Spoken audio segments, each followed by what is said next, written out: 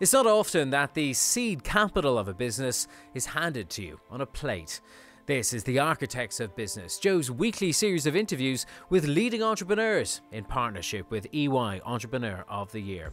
I'm Tadhg Enright, and today we'll meet Mark Barrett, whose company, APC, is a facilitator of life prolonging and saving drug research.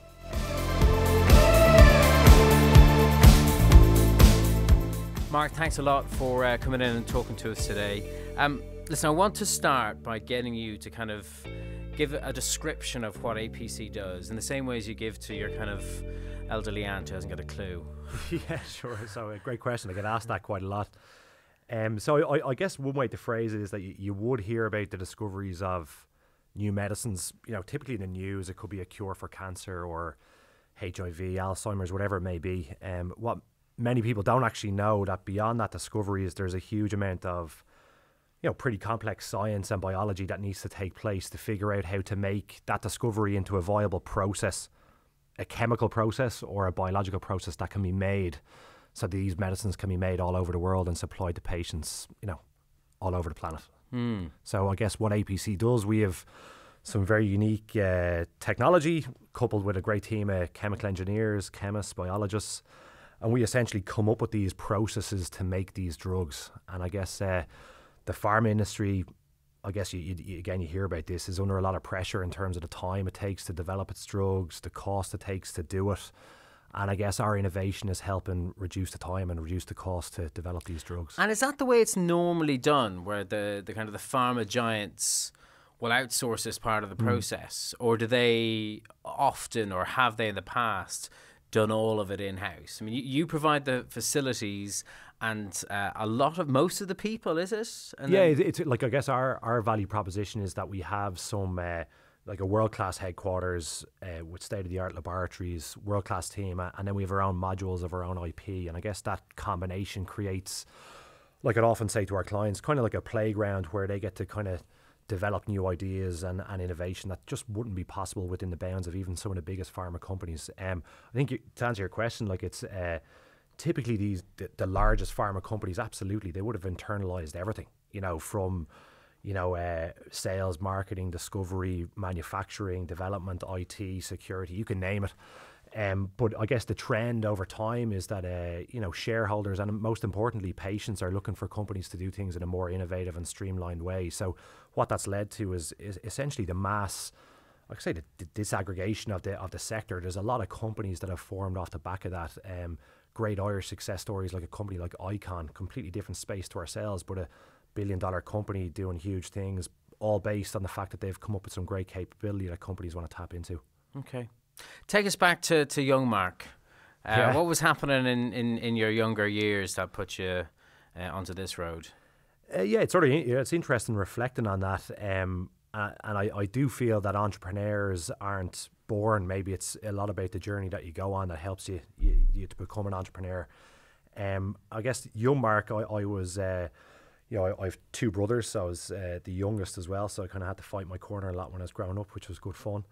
Um, I did outgrow my brothers at one point, which kind of gave me a bit more, uh, you know, a bit more steel to protect myself. But uh, growing up, I guess the most important part of my journey, I think, was, uh, you know, my dad was an entrepreneur, had his own business back in the uh, late seventies, eighties, nineties, and into the nineties, and um, seeing him, business about twenty people in it, but uh, the big thing I took from it was the determination and guile that he had to kind of, you know, go out and fight his own corner create opportunity for the family and put us through school and everything like that. So that was a hugely important thing. On reflection, that my dad would all often reference the periods in his time when things were great or things were difficult, yeah. and I, I, definitely learned a huge amount. What, field was he in?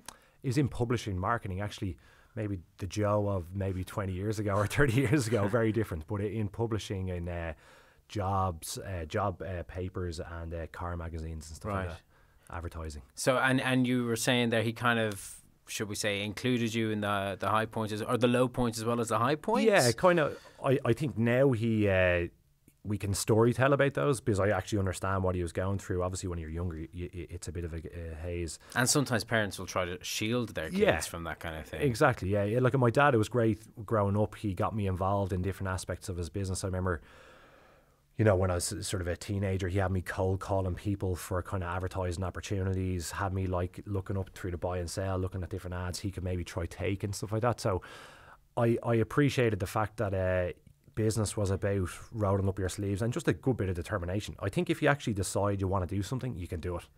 Um, and that's uh, that's I think what I learned from my dad and uh, my mom was also involved in his business and she's actually involved in, in, in APC. She's in our finance department and I see the same maybe their their family values, I don't know any different, but I see those values and I think it's something that I hold close to my heart is that I I I try to emulate those values and represent what my parents taught me. That's a big thing about uh, how I how I lead my life. But certainly at the outset, when you kind of went down the path of, mm. of chemical engineering, that wasn't following in their footsteps. I mean, was there something you experienced in those days of cold calling and trying to get advertisers? you said, oh, you know, I think I want to do something else. Yeah, like I was always in school, I was always interested in uh, science, chemistry in particular, maths. Um, and actually, my, my eldest brother uh, did chemical engineering. He actually did a PhD with the professor I did my PhD with. So there was kind of, I'd say, yeah, there was things happening in my life where I could sort of say, geez, I'm interested in that. My other brother did engineering, civil engineering. And I remember at the time I was thinking about both of them, and, and the, the chemistry element really drove me on to do chem eng. And um, yeah, that was probably my first, maybe when I was around 16 or so, that was my first sort of step in my career in saying that actually I wanted to do this, if you know what I mean. So uh, I look back on that very fondly, and it's probably obviously the most important decision I've ever made. Hmm. So you uh, pursued it, you studied it, yep. you went to work at it. Um, what what was going on in the back of your mind that made you uh, start doing, you know, start to plan to do something for yourself? Um, you know, I, I so I, I, gathered the skills. That was one of the things. I was really focused on that. And then uh, after my postgrad, I went and worked for uh, a large pharma company phenomenal experience, but it, it, gave me an indication that, geez, even in the biggest companies on the planet, like that have you know massive market capitalization that there is opportunities to innovate. So, you know, and one thing that I had, I think I I I wanted to be in an environment that was full of like dynamism, change, innovation. So I actually went back and did a postdoc, which is kind of basically more academic research, but under the guise with my professor that we said, look, let's just talk to all these pharma companies, be it in Ireland, the US, all over Europe. Let's talk to them about the ideas we have, the capabilities we want to develop, kind of like a vision, a storytelling process. I kind of went through that for about four or five months with uh, a number of big pharma companies that knew uh, myself and Brian uh, through our academic publications, through conferences, through trade shows, things like that. And we basically, I just sort of painted a picture of the future where I wanted to take these ideas. And what was incredible is that uh, some people backed us with nothing. We had no infrastructure, no, you know, like this place, no studio. We had no capability in terms of people, infrastructure, but they backed the idea and they're willing to pay us for the idea, which was incredible. So you you you know you know facilities, even though facilities was what you wanted to uh, what you wanted to sell effectively. Mm. Um, just talk to me though about how you spotted the opportunity, where you saw like there's a gap that we can fill. Um, I think we are exposed uh, to a company in the US and they had a, a, product, it was for schizophrenia. And uh, we met a VP over there, so kind of a senior meeting for an early stage company. And um, he said, I've heard what you do. I heard about, you know, all these ideas you had. Can you help? And I guess maybe in the humility of that, a person like that who has massive budgets, has, you know, hundreds of headcount, for someone like that to reach across the table and sort of say, here, we actually genuinely need your help, not only in you know the science, the engineering, but just actually helping them develop this product. And uh, he was under huge pressure to try get this, you know, what is a, an incredibly important product for the market onto the market. And I guess he was reliant on our early early stage ideas to make it happen. So that to me was the light bulb moment. That was the in that meeting.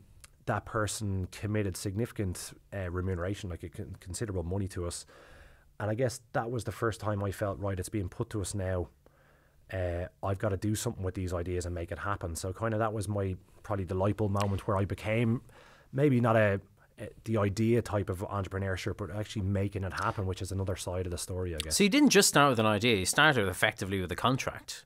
Mean, yeah, did, kinda, that, yeah. did that make it easier to just to, to get off the ground? Because suddenly there's somebody offering you this. Yeah, Here, here's a job for you to do here's some money, please do it. Yeah, like and that that's a real important part of our, our, our story. Myself and Brian always spoke about um we wanted to take science, chemical engineering to a global stage, but do it from Ireland. And we felt that we had the ability and we needed to back ourselves and back anyone in the team to do that.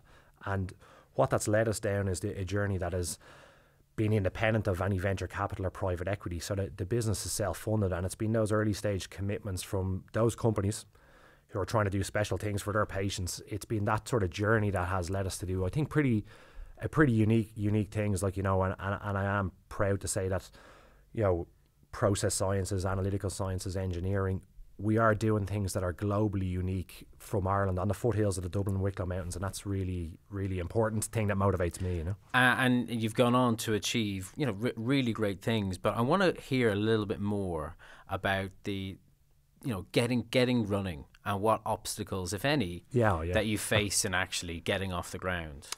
Yeah, I think the looking back on it, personally, maybe this is just my own, and I, maybe I can try comment on on some of the other team. But for my own self, I think it was the psychology of it, taking that leap of faith and backing your own ability. And I think um, in the sector we're in, I, would say I, would put you know APC, and then obviously you can name all these big, massive pharmaceutical companies. So the psychology of saying that actually we can do something that maybe those companies can't or find difficult. I think that was maybe the big personal side of the story for me. Um, I think probably the the challenges, like I look back, you know, I had to give up so many different things in my life as an avid rugby player. That had to disappear. Uh, the stitches in the face and the black eyes didn't wash too well with the US uh, client base. It did with the Irish side of the business, but not with the US. Uh, and I'd say personal relationships with friends and family just probably diminished a little bit because I was doing 70% travel, uh, I was over the states three days, back two days here, back for the weekend in the US for a week. And yeah, it was just insane. So personally, I think that was the maybe the you don't even think of as downside. That's that's great stuff to be doing too. But looking back on it, that was pretty uh, maybe difficult to do for people that were around me in terms of my friends and family. You, you know? talk about looking back, but we're not actually talking about that long ago, no. are we? yeah, two, that's like 2000. Uh, 11, 12. We hired our first person January uh, 2012, and we've basically just been hiring people ever since, which is fantastic. So, uh, and, and, again, it's the it's the Irish element of that story in in doing R and D and science that makes myself and Brian extremely. Pre- that's what that's what keeps us interested. Yeah. What are the big leaps forward? What were the times when you really said, "Wow, what's happened here?" yeah. Um, so back in um, again not too not too long ago, but around uh, the end of 2014, we were just under huge pressure in terms of the volume of people or business that we were getting, and um, we kind of myself and Brian had this early stage plan. We needed to get outside the bounds of the university. Uh, like I was saying to you earlier, like I think if you want. Um, if you're painting a picture of the future about APC and the vision, what you want to try to do, patient impact, because um, because previously you were working within yeah in the university. Uh-huh. Um, so I think like you know when you're trying to attract let's say talent, um, and also uh, your client base uh, being based in the university, I think yeah, it's a great part of the story, but ultimately it's not the end goal. So the first five year plan we had was to try capitalize around facility, and we are really proud to have done that. We did it without any I mentioned private equity, VC, or even bank debt. We kind of just went and, and, and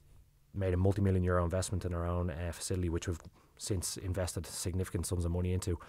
Uh, so that was probably, in terms of my own personal entrepreneurial journey, that's what I, I look back on with such pride. We just simply backed the people in the business to deliver. Like, you know, we, we were spending money we didn't have, but with the view that if we did, people would step up, uh, the culture would just transform, or not transform, it was, it was fantastic, but just really amplify uh, and uh, we went on and did some incredible things. So that was kind of we moved into the facility started 2016, and the company subsequently has nearly trebled in size. So we've kind of done some good things since then. Is that the difference between an entrepreneur and you know a risk taker and somebody who wouldn't have taken that risk? Um, maybe in my interpretation of it, maybe yeah.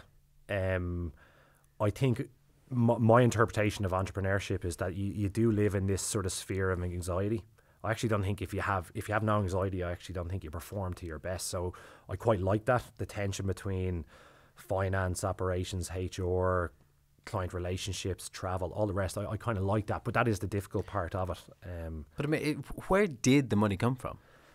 Um, from hard work. You know, that's the that's the reality of it. I, I think uh, our our our team we're doing ex- extraordinary things, and our, our I guess the people that we work with, our clients, pharma companies all over the world, like you know, we work with. This is the interesting thing. We work with uh, half our revenue comes from the US, about about 20, 30 percent from mainland Europe. So it's a heavily export driven based business, and our clients simply were willing to back us. So they were giving us, uh, you know, just contractual commitments that was making myself uh, and the, the management team confident in making significant reinvestments back in the business. So that's but, but, but, was it basically the money that, that may, most people would just have as a safety buffer or the money to pay next month's paychecks or kind yeah, of yeah. something like that that you just we're continually reinvesting. Like I think that's the the appetite for entrepreneurship. Uh, I think is driven by your appetite to reinvest, and that's my own personal interpretation of it. But I look at the team and what we've done we just have to keep reinvesting in our own internal innovation and research capabilities. So I think that that was the the kind of moment in our journey where it, really needed to happen, and I'm delighted that we actually made the decision to to back it. We actually made a commitment. It's it's amazing looking back. I can't believe that we actually did it. I think we're mad, but it was brilliant that we did it. Uh, we backed a kind of investment to fit out about thirty thousand square feet of uh, lab and office space, and then we kind of got to the end about three months later that that started to kick off, started building.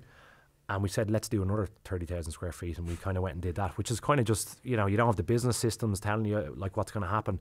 You're just backing the team to deliver. And that's what, uh, yeah, I'm really proud of in APC. So, Mark, from what I understand, the uh, the ambition for future growth hasn't been dampened. There's there's big plans afoot. Yeah, we just uh, we just completed a uh, a 10 million euro investment in uh, the facility, a build out of sort of biologics factories of the future, like designing uh, personalized medicines of the future that are kind of uh, specific to certain types of uh, cancers and, and, things like that. So yeah, really proud to have done that. And uh, you know, the plan is to grow locally, obviously in in Dublin, which is really important part of the story. So we have plans to kind of uh, recruit over 100 people in the in the coming couple of years. that will bring the business over 250 staff, and then. Um, we're looking at opening an office in Boston in January, which is kind of the next part of the story, which I'm excited about. Hmm. And how do you? Why Boston? And I mean, why do you? Why have you focused in on that as a as a location? Uh, yeah, we, we we have a huge number of clients in the area, and uh, if we're looking at the total total number of medicines that are being discovered and developed, Boston is a is a is a well known hub for that. So we just want to be, I guess, closer to. Uh, our clients and also uh, there's a lot of innovation in the area that would kind of marry well with what we're trying to do on the technical side. And you want good. to be basically where it's happening. But I yeah, do, want to say there's also a, a, plan, perhaps a more medium term plan to go eastwards, as it were?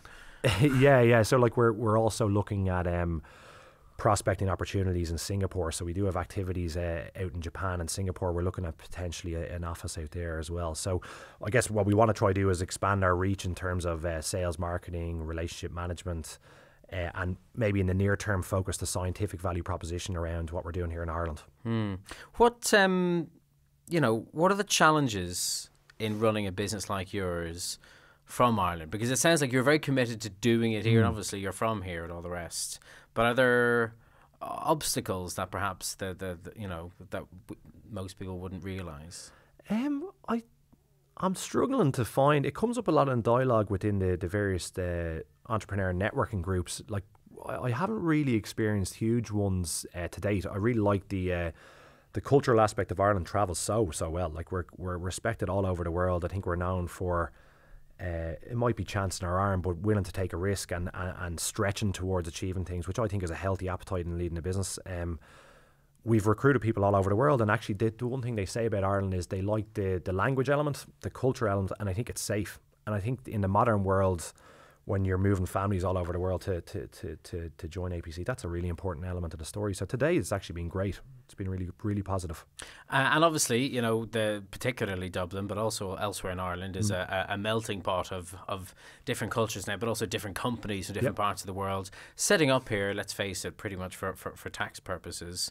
But, uh, you know, is it as easy? There's often criticism uh, of the government for not doing enough to actually foster homegrown companies sure. like yours? Do yeah. you think could you know success, yeah, yeah. locally grown success stories like like your own have been helped more in the past? Yeah, uh, yeah, I, I I think that's a real fair point. Like I do, like sometimes wish the national agenda pivoted more towards uh, homegrown uh, talent, uh, homegrown companies.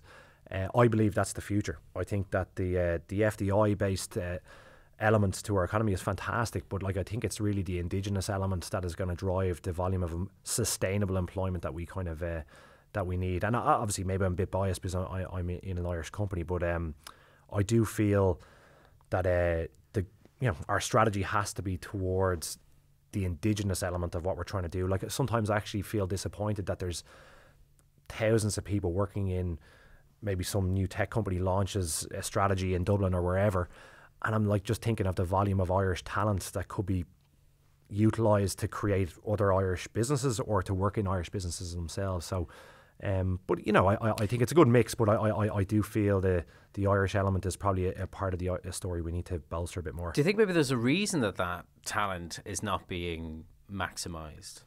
Um, maybe like you could be cynical and say that the the Irish companies don't have the opportunity landscape or the investments, whatever it may be. Um, but you know, I, I think from the government down, we need to kind of foster and incentivize the entrepreneurial element of, of what Irish people are doing on a day to day basis. Um, and I think if they get that kind of incentivization right, and you know that would encourage more people into the sector of creating new the new opportunities for Ireland that are Irish opportunities. Mm.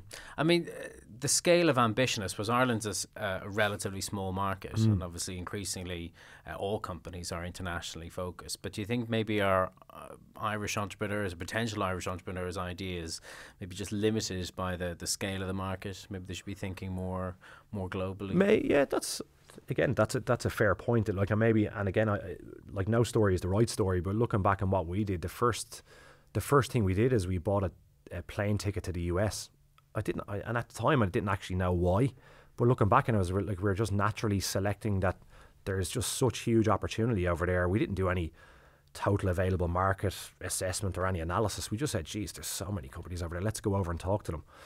And, and I think that, you know, over history, Ireland is known to look outside the bounds of you know this island, and I think we just need to encourage the same within you know within the millennial group and others that you know they feel empowered to kind of go explore the world and explore the opportunities that are, are present. Well, what have you learned from say the entrepreneurial spirit of the US? Yeah, uh, like I think you know failure is a good thing. I think um, they're really open to things that are different. So actually, if it doesn't sit within their current business system or budgeting process or whatever it may be, they'll definitely hear out the idea and, will have appetite to try it out. I think that's definitely something that I've learned. So we, we would do a lot of our, you know, if we're developing a minimal viable product or a new idea, we definitely would would look to uh, to pitch it to US companies for sure. Uh, you get some great insight. They're very open about providing you ways to develop your technology or services, whatever it may be. That's a real, real thing. That, that that's a great attribute of the US, I think. Mm. I mean, I know part of your education was was actually spent in the US. Is that right? Uh, yeah, I was fortunate enough to be selected to go on a program over uh, to NASA and Florida Institute of Technology. Uh, back in oh, it's like 2005 or something like that prior to doing the postgrad but it was a government initiative to try get Irish people interested in research to be mentored by like you know, life science experts in NASA and astronauts. And my mentor was a two-time astronaut. He was a chemical engineer. Pretty, um, pretty inspirational. Yeah, yeah, pretty, pretty inspirational uh, figure. He had his own jet. I just thought all this was pretty, uh, pretty, uh, pretty amazing. Um, but it, that definitely gave me a sense that, geez, the, the possibilities are endless. Like uh, there was people over there that had you know, they are great ideas, but they weren't. It was just maybe more the determination to make it happen. So that's what I, t- I took from that experience was that, um, you know, you can do science engineering, you can do any type of business idea at a global stage. You can do it from Ireland. Uh, like, why not? You know, so I've yet to find anyone to give me a reason why you can't. So there, there's, uh, you know, a great attitude and perhaps a great admiration uh, in the US, for example, for, for people's success. Mm perhaps is it, do you think is that shared over here, or is there an element of begrudgery? Um, I think it just it manifests itself in different ways. I think in the US, people are just used to, um, you know, uh, maybe new ideas, entrepreneur, venture capital, private equity, businesses succeeding, businesses failing. Maybe it's just not a natural part of our storytelling. Um, in, you know, that's maybe my my own experience. Um, not maybe begrudgery, but uh, maybe sometimes just you know some people might look at someone who leads a business and they think that they you know you know they've made it, they have it all. When the reality is the the volume of effort, dedication, and sacrifice that goes into it is. Uh, sometimes worth it and sometimes it's not, you know, and maybe just in the Irish guys, we, sometimes we don't provoke the right response to maybe success or failure, you know. Hmm. Have you experienced that yourself?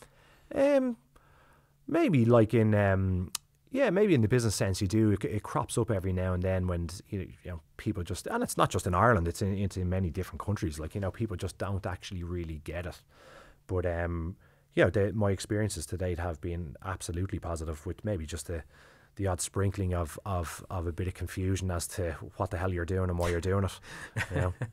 Well, talk to me a little bit more about the work that you are involved in, mm-hmm. because mm. I would imagine down through the years there must have been some particular projects that you were, should we say, particularly yeah, proud yeah. to have been part of. Absolutely, like there's a there's a couple of uh, ones at the moment. Uh, we are at the we're at the forefront of this sort of technical innovation in cell and gene therapies. These are personalized medicines that are specific to uh, any particular mutation in cancer or whatever it may be. Um, and we were the first company to come up with a, a, a process, a, a, manufacturing platform to process a, a, cell therapy that was associated to a particular form of cancer. I won't mention the one because it, it, breach confidentiality, but it was the the um, the survival rate was uh, less than twenty percent over the course of three years. This drug would bring it to a survival rate of over eighty percent. So through our kind of innovation and uh, engineering related research, uh, people have take been able to take his drug and are alive as a result. So that's really empowering. Um, and I think the team don't actually, you know, there's 130 odd people now in APC. They actually conveying that message. You know, people need to be empowered by that. That's something special. So, like, that's kind of uh, something like that's a that's a program of research that we're still involved in, and is pre- pretty uh, pretty incredible. Yeah, I mean, as the kind of the, the, the outsourced partner, I mean, obviously you are working hands in glove with yeah. these pharma companies, but do you think your your people and yourself feel as part of the success stories as the the people who, who kind of come to you to sure. give you the work in the first place? Yeah, like yeah, we have our, our we have patient advocacy groups come in and talk about uh, the impact. Like we have a whole portfolio of different medicines we're working on from you know Alzheimer's, leukemia, different HIV, respiratory based uh, ailments, and uh, we have the their patient advocacy groups come in and talk about the impairment that these new medications will give them in their daily lives, and also our clients come in and give an, an understanding of the the volume of patients, the survival rate or lack of survival in many cases, which is the infor- unfortunate scenario.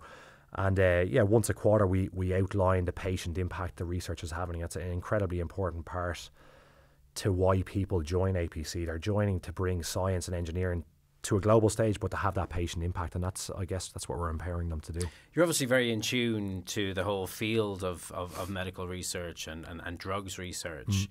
What's your view of it as somebody who is kind of, shall we say, uh, you know, facilitating it rather than mm. being directly involved in it? You mm. know, are, are these various companies are they chasing particular treatments for the for the right reasons, or are they chasing profits in some cases? Um, yeah, like I, I think that the whole industry is just being completely changed. Even in the, the lifetime since I've been involved in it, there's been such a dramatic change. Like companies now are looking at the development of very specific or niche based medicines that maybe the patient pools aren't in the tens of thousands or hundreds of thousands or millions. They, they could be in the, the hundreds of people, which is a completely different value proposition to what the pharmaceutical or biotech industry was doing 10, 15, 20 years ago. They're developing mass products, you know, could be cardiology based products uh, or diabetes, which is treating tens of millions. Whereas now the, the focus is definitely towards these niche based medicines, personalized medicines, medicines that affect very small populations of people and there's an unmet need. So I do I do feel the integrity and the mission of that is fantastic. Um, and then it comes into like how that's financed and how it's paid for. It, it's difficult because the industry is structured around you know selling large volumes of, of life saving medicine uh, to patients all over the world, and the, this business model may change that. So it'd be interesting to see how that plays out. But I, but I don't think it's a profit chase. I think there's there's an unmet need that is being chased and being solved by truly innovative science, and to be part of that is fantastic. Is there such a thing as a kind of maybe not quite pro bono, but almost you know charitably funded work in that field where perhaps you're charged with or there's an hmm. encouragement mm. to kind of push forward and invest in a drug that might help lots of people, Yep. but might not ultimately make that much money for those involved. Yeah, like, and that's def- that's definitely happening now. Like with the Melinda and Bill Gates Foundation, like there's foundations like that, government led or, or by through philanthropy, that is investing in um, products that maybe sometimes may not get it to market because there's the, maybe the the patient or business need isn't there, but it could help you know huge volumes of people, be it in third world or others. So that that, that is happening definitely, and we get solicited through those foundations also to try help you know, it be it could be uh, drugs and processes associated to malaria or typhoid, drugs, things that have been around for tens, hundreds of years, but still across the globe aren't solved. So that that, that is happening. There is foundations that are looking looking after that. Let's talk a little bit more about you. Sure, great. or maybe not just about you, but I mean, uh, you know, you, you mentioned earlier uh, about the long hours, the, the the giving up of rugby, the not seeing family as much as uh, you used to or you might Yeah. have liked to. Does that continue? Is that still the case? Uh, no, I think. Well, my mom works in the business, so I see her every day. Um, but uh, no, I think I have the balance right a lot better now. Like I'm actually a lot calmer. Like if I was to look at myself in in, in comparison to what I was like several years ago, uh, I I feel um, a lot of calmness. I'm I'm I'm uh, recently married, so that's that's helping too. So. Um, but I, I think I've a, be- I have a better work life balance than I used, to, and I certainly encourage that within uh, within APC. I'd say in the early days we probably didn't have that right, didn't have the right the right roles, right business system. Everybody just wanted to do everything all the time. Whereas I think we have a we have a better balance now. Yeah, so uh, I think I'm I'm in a better place and certainly uh, loving every element of my personal and professional life. There's not many entrepreneurs in their you know mid thirties who can say that their hardest working days are behind them, though. Oh, I don't know about that. Jeez. You know, maybe the uh, the frantic nature of what I'm doing is less, but I think I'm uh, the pressure on being effective in the decision making that I have to make now is is is uh, very significant. So maybe the pressure burden isn't any less, but maybe the, the frantic nature of how I work. Maybe I've just learned how to be a better leader and a and more effective at what I do. So And maybe working smarter instead of working harder. yeah, exactly, exactly. That's exactly it. So just doing, uh, putting the right roles and responsibilities into the organisation, the everything from, you know, the right focus areas, right incentives, right budgets, but then having a strategic plan that will enable the business to uh, to more than double in size in the next couple of years. That's where the pressure is. Maybe it's a forward-looking pressure as opposed to a, a right now pressure. You know? So perhaps the worst is yet to come. Well, that's potentially it. That's the risk, and I think that's the that's the beauty of entrepreneurship. Like you know, you you achieve something, but you're immediately you don't actually get to enjoy the success as such because you're more thinking and positioned about the future, and that's kind of maybe where I sit today. Well, have you put any kind of coping strategies into place to to limit that stress that you had to deal with before? Yeah, I have like a I have a coach, um, so which is kind of uh, outside um uh, the business, but have a coach that kind of uh, you know, it's not about a friendly conversation. It's actually giving me, it's about giving me constructive feedback, um, understanding about elements, how I need to develop, um, and where I need to put pressure on myself. So actually, that's a that's a healthy process because you can actually bring in all elements of the business and maybe even personal things that maybe it's difficult to discuss with uh, peers in, in work, even my co-founder. Um, so yeah, that, that's that's something that I, I use kind of quite frequently. Well, without giving all the coaches' secrets away, because Yeah. they still have to make some money. Um, can you give us exam- an example of something that you've taken on in terms of that their advice? Yeah, I think um, like one of the things I'd say probably I, I wasn't great at was kind of cascading down the organization, visibility about decision making, uh, the financial elements and budgets and planning and stuff like that. So that's definitely something that, like, you know, I had to, I thought if I painted the picture for the future, gave people a sense of how we're going to do it, that the operation, operational execution would just happen. But I, I've had to sort of spend a lot more time and recruited in some world class people uh, on the operational side to help me uh, sort of do that. And ultimately, it's, I, I definitely don't have the skills for that. So in a way, um, the coach was advising me to kind of uh, find people who have far better talent than I do in that space. So uh, that's that's maybe an example of how uh, I've taken on board what they've had to say. And what about tidbits from other entrepreneurs, maybe even within the EOY network, kind of uh, Yeah, yeah. coping strategies or best practices from them? Yeah, what's look, and it's it's probably it is a cliche. Like what's fan, what I've taken from the experience with uh, EY, the other networking groups, is that w- we're all facing the same opportunities. So everybody's got growth opportunities, all the rest, and everybody has challenges as well. And actually, the challenge challenges manifest themselves in actually the same guys again and again and again and again. So like you know, if it's HR related items, financing, uh, client related ones, acquisition related ones. Like I had a, a, great conversation last week with one of my now friends within the network or whatever, talking about you know growth strategy versus you know I- organic growth versus acquisition. You know, it's fantastic kind of network to to tap into. Um, like you know. It, something that a board can't even offer, I don't think. You know that that network is is incredibly valuable.